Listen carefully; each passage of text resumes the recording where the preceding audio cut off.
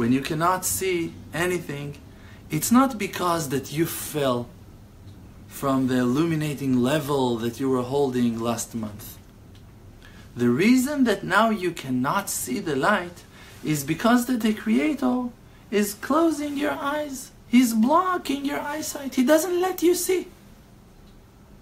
A regular person thinks to himself when he is in a high level, immediately he thinks to himself, okay, that's my level.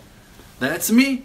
Maybe now when you're in darkness, that's your real level, and when Hashem turns on the light, now that's His grace. That's His kindness.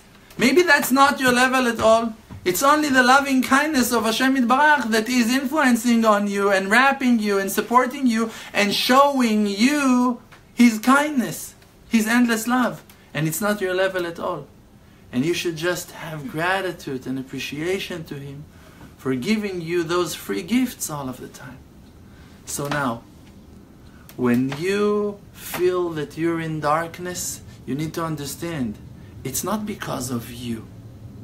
You don't have the ability to turn on or to turn off the light.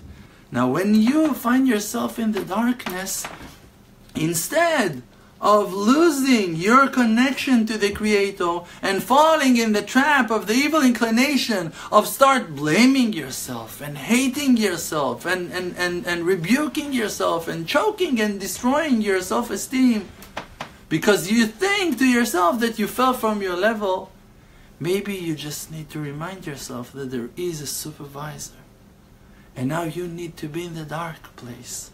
In that darkness, maybe there is something that you can do. Maybe now, from that darkness, you can call Hashem. Maybe you should hide from something. Maybe you should relax and take a nap. Maybe something good can come out from that darkness.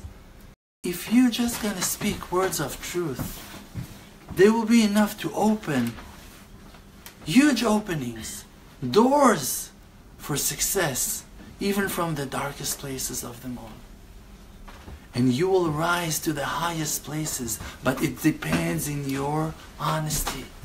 It depends in how strong you're gonna be just to express the voice of your heart. Please subscribe and like this video and share it with your friends to help spread faith in the world. For more, please visit Emunah.com.